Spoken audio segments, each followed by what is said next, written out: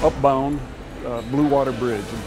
I worked on the ships on the Great Lakes, and this is the Arthur Anderson, the ship in the painting, which is the boat that was uh, right behind the Edmund Fitzgerald when she went down.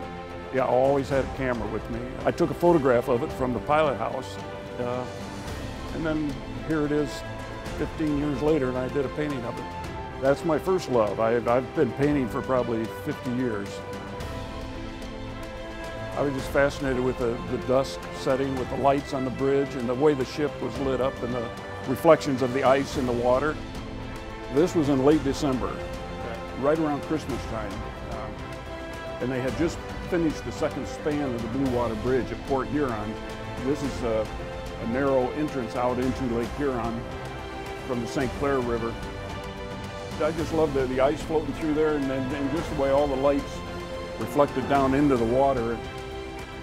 What I'm trying to do is take a, a literal image and, and create that into a emotion, you know, so, for them to respond to. Oh, I find it fascinating. I love to hear their comments.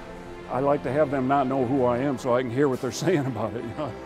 sometimes you want to hear it, sometimes you don't it's just kind of fun. I, I don't ever plan on winning or placing, but it's just fun to meet the different people and get involved with the different activities.